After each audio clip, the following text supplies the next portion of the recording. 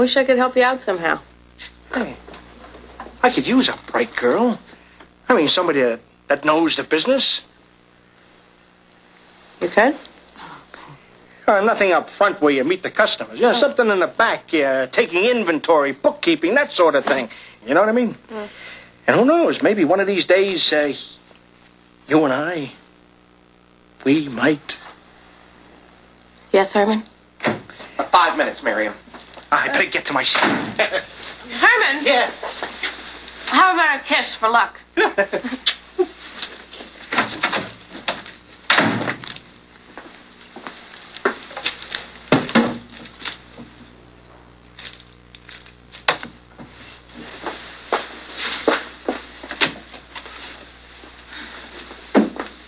I loved her from the moment I saw her.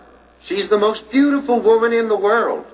I'm so glad you brought her home for us to meet. But not for your approval, Mother, but for your enrichment, as I have been enriched. George, what a lovely house and garden. Oh, this must be your mother. How do you do, Mrs. Wainwright? How do you do, my dear? George has told me such wonderful things about you. Place those alongside the wonderful things he said about you. My, my. I feel as if I've known you all my life. I'm so glad. Isn't Miriam terrific? The audience accepted her immediately. Wainwright, but I'm due at the front. She'll be even more terrific in the next act. Enriched. This box represents my heart. Empty. and empty also are our lives.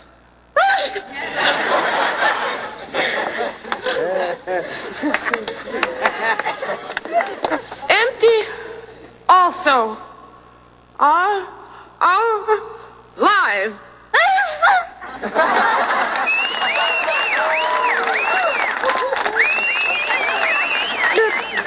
Let us now have a moment of silence.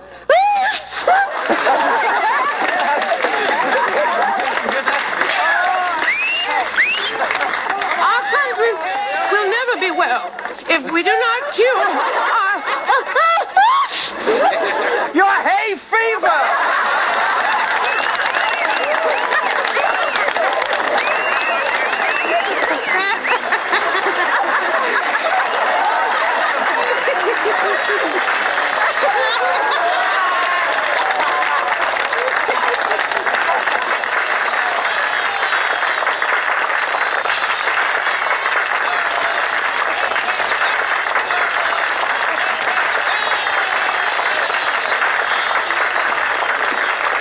Miriam, Miriam, get, get back. It's going to be all right. It'll be fine. It'll be...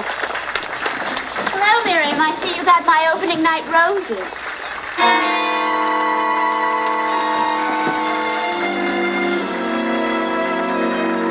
Someone get Heidi. She'll have to finish the play.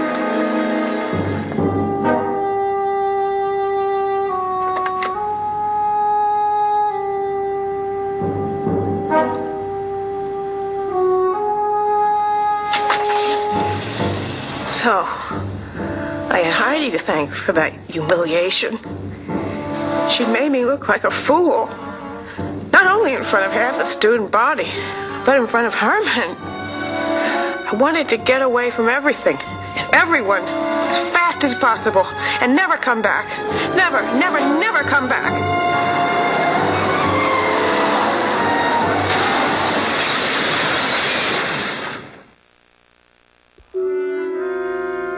The entire time I was in the hospital, I was haunted by scenes from college. Moose, Dr. Ted Gates, Freddie, and especially Heidi. All laughing at me. Any kind of a normal life with a husband and children seemed out of the question for me. After all, who'd want to make love to a mummy? Except a drunken Egyptian. Gosh, I was depressed. Oh, you have a visitor, Miriam. A very nice looking young man. May I let him in? Dr. Silverman. You may come in now, sir. Ah, th- thank you, nurse. Hey, Miriam. yeah, I brought you some some candy for uh, for uh, for your. Uh, Uh, I uh, tried to get here sooner, but I was too busy. Hey, you know, for somebody who tried to kill himself, uh, you look terrific. Yeah, that, that was what happened in the car, wasn't it? Well, when they when they called, I said, uh, I said, Miriam tried to knock herself off. Ridiculous. She's probably uh, just fooling around like old times, right? right. Here, let me give you a hand with that. Huh? There you go, right there.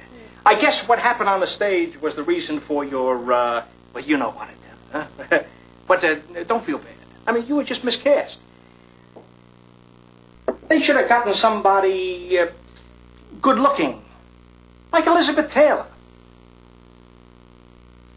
Miriam, good always comes out of bad. I didn't realize until the accident uh, how much you mean to me. I mean, we've known each other all our lives. And I think it's time I told you what was in my heart. Hmm. Miriam, give up.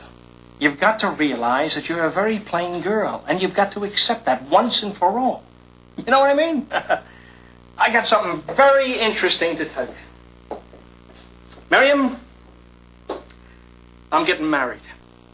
I met this girl at a plumber's convention. Yeah, and it's our plan that we're going to tie the knot in the next four weeks. Yeah. Oh, you're going to love her. She's beautiful, talented, and a terrific little bowler. Terrific. I know that uh, our parents always hope that someday that we get married, but uh, we both realize how ridiculous that is, right? but anyway, we want you to be our maid of honor. That's if you can ever walk again, you know? well, I better get going. It was uh, great watching you drink your supper. And uh, sometime I'll come back and uh, maybe watch you drink something else. Oh, uh, I better take these. There's no way you're going to get these in there.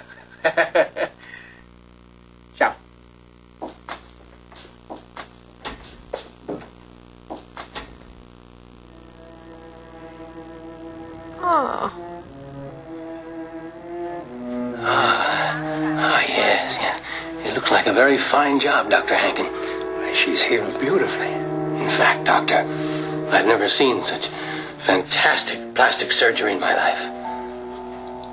Good morning, beautiful. Uh, listen, Miriam, if you're not busy this evening. Miriam, take a look.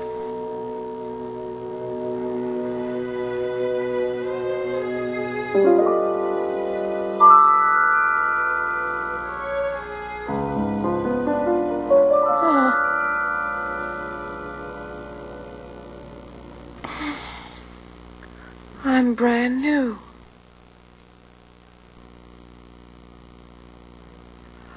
Okay. When do I turn back into a pumpkin? What's the catch? There's no catch. When can I try it out? Be our guest. Dr. Green called surgery. Dr. Green called surgery.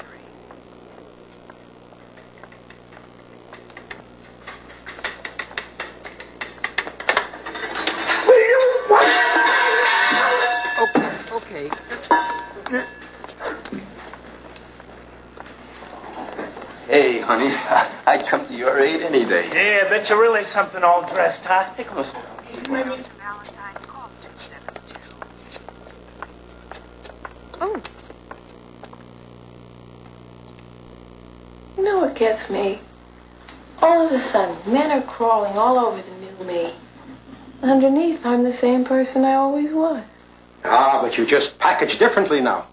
I think of how cruel people were to me. Ah, but that's all in the past, my dear. Forgotten. How Can I forget? It's an adjustment you'll have to make. Goodbye, Miriam. Be happy. Be happy, Miriam. It was easy enough for them to say, be happy. But how could I, the new Miriam, be happy when I knew there were still so many other Miriams out there, suffering needlessly like I had? Popularity now seemed so easy, so accessible. But I had reached a turning point in my life. When I thought about all the unhappiness I had gone through, I was determined to pay it back. With interest. Dr. Gates. Dr. Ted Gates. Call 125.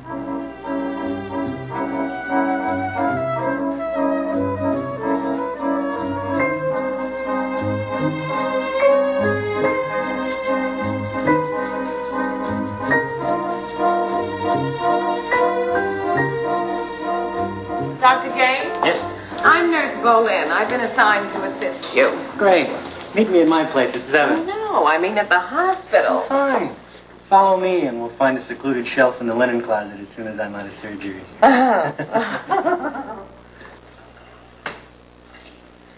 I always like to get to know all the new nurses on a personal basis. Don't you think you might go after the wrong woman one day and hurt her? Impossible. I'll be doing them all a favor. Dr. Gates, please. now you've just scrubbed. You're supposed to be sterile. Oh no, the patient is asleep. This is against all regulations. Ah! Ah! What did you do? I told you one day you'd go after the wrong woman. I'll be all cold in a minute. That's right. Oh, no. If I lie here, they'll, they'll take me into the operating room. What's wrong with that? You took me in there once. Only then you were the operator. Now, I guess you'll be the operatee. I don't understand. I'm Miriam Knight. Remember? Next, next. Have somebody else fill out the death certificate. What? Oh, this is the emergency appendectomy. Is it? That's right, Doctor. Funny, looks a lot younger than when I examined him. Well, let's get to work.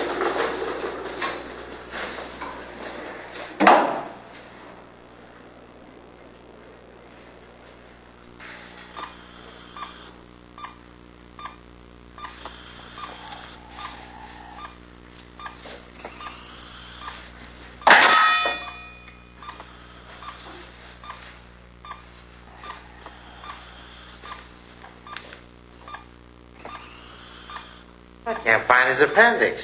The man has got appendicitis. He's got no appendix. It was there an hour ago. Doctor, the patient's getting shocky. That's not possible. We just began surgery. Blood pressure is dropping. What is it? 60 over 20. That's dropping. What, what's the pulse? Going up. 140. Uh, get some plasma in here on this. up. Right away, Doctor. See anything in there?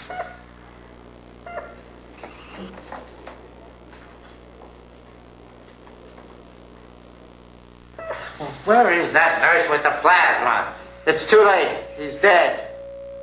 Dead? How could he be dead? I haven't even taken his appendix out yet. Well, have somebody else fill out the death certificate. Next!